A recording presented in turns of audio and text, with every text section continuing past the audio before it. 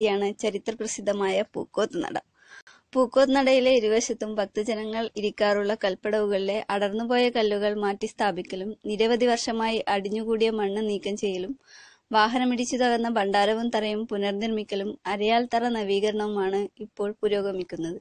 T. T. K. Devaswom ബോർഡാണ് നവീകരണ പ്രവർത്തനങ്ങൾക്ക് നേതൃത്വം നൽകുന്നത്.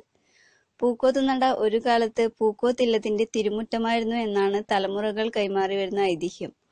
പൂക്കോത്തില്ലത്തെ നമ്പൂതിരിയായ പൂക്കോത്തടികൾ തൃച്ചംബരത്തപ്പന്റെ പരമഭക്തനായിരുന്നു.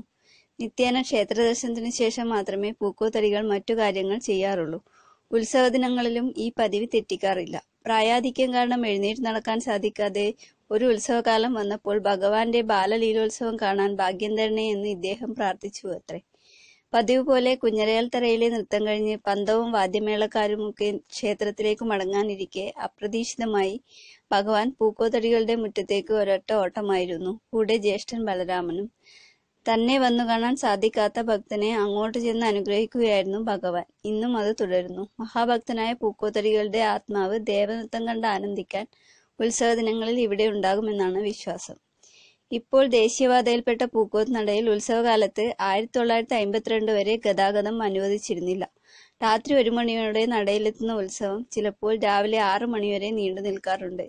ഗതാഗത സ്തംഭനത്തെ തുടർന്ന് ചില അനിഷ്ട സംഭവങ്ങൾ ഉണ്ടായപ്പോൾ ആയിരത്തി തൊള്ളായിരത്തി അമ്പത്തിരണ്ടിൽ സർക്കാർ ഇടപെട്ട് പൂക്കോത്ത് നടക്കു സമീപത്തുകൂടി ബൈപ്പാസ് നിർമ്മിച്ച് പരിഹാരം കാണുകയായിരുന്നു.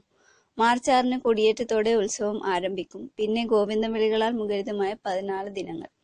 ആ ഉത്സവ ദിനങ്ങൾക്കായി കാത്തിരിക്കുകയാണ് ദേശക്കാർ.